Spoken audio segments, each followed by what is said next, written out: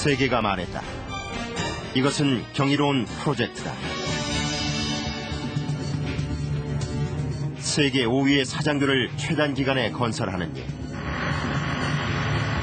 거센 물살과 싸워야 하고 바람과 안개와도 맞서야 한다. 난공사를 더 힘들게 하는 건 다리가 강이 아닌 바다에 세워진다는 점이다.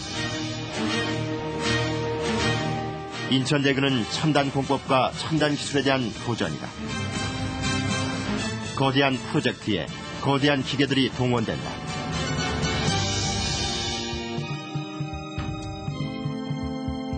미래 한국의 대들보가 될 인천대교 건설의 대역사. 그 현장을 파헤쳐 본다.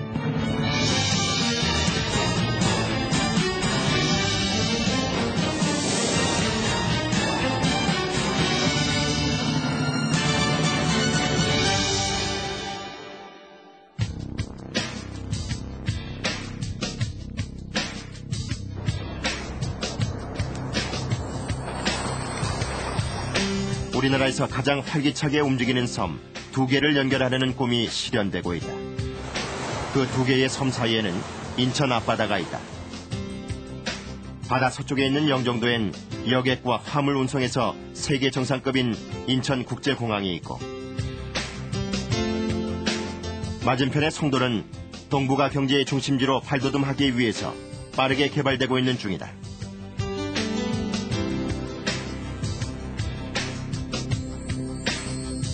이렇게 역동적으로 성장하는 두 섬을 잇기 위해 인천 앞바다를 가로지르는 국내 최장의 사장교를 건설하고 있다.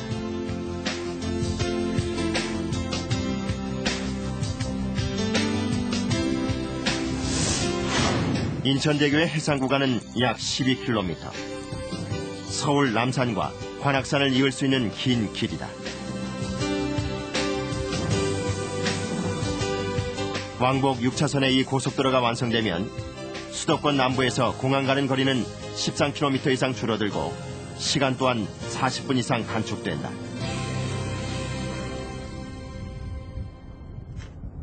하지만 이 두 섬 사이엔 너른 바다가 있어서 대교 건설이 만만치 않다.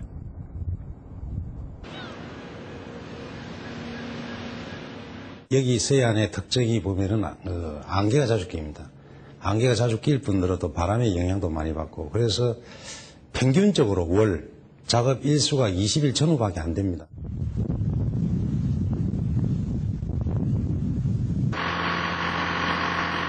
힘든 건 기상 조건만이 아니다. 국내 최대의 해상 교량을 52개월이라는 최단 기간에 세워야 하는 어려움도 있다. 영종대교가 5년 지어진 계약이 5년 만에 끝났고 서해대교는 7년 정도 걸렸습니다. 저희보다 훨씬 짧은 교량이.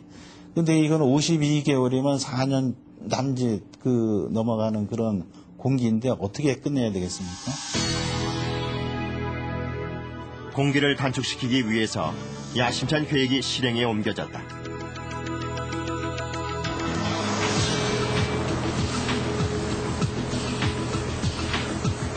그것은 육지에서 먼저 바다에 세워질 다리를 만드는 일이었다. 송도 쪽에 세워진 제작자. 이곳에서 다리 건설에 필요한 모든 구조물을 사전 제작한다. 거더라 부르는 인천대교의 상판을 생산하는 공장이다. 50m 초대형 거더를 하나의 틀로 주조하는 것이다. 먼저 철근 조립장에서 거더의 골격인 철근망을 만든다.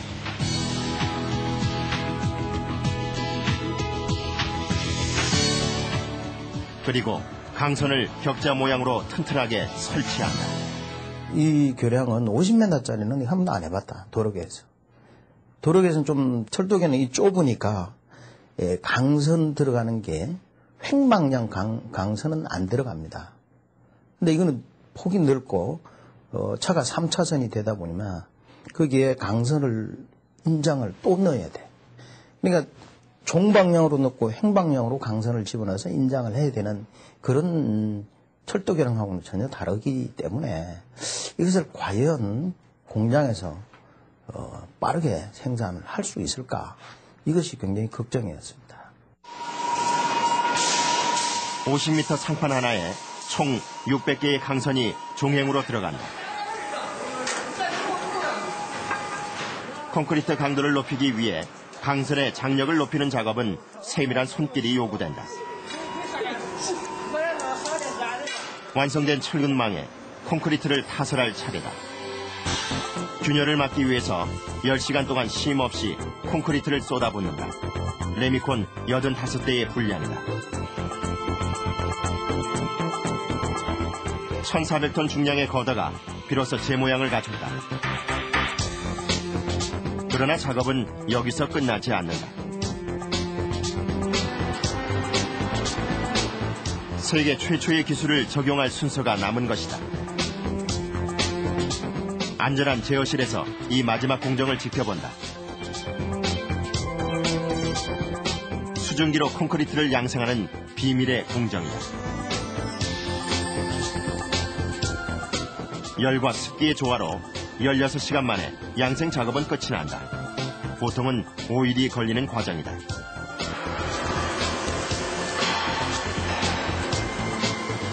이 최신 공법에 이런 제작장이 필요했다. 이곳에서 1,400톤의 초대형 거더가 하루 걸러 하나씩 만들어진다. 증기 양생의 비법은 이틀 생산 시스템의 핵심 기술이다. 인천대교의 50m가 또 완성됐다.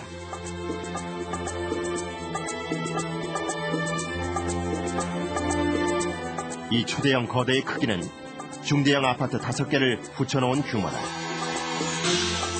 인천대교 고가교를 완성하려면 이런 거더가 336개가 필요하다.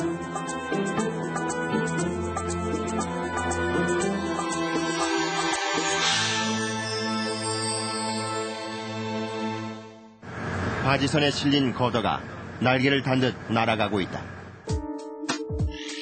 이 거더가 놓일 곳은 고가교, 해안과 가까운 곳이다.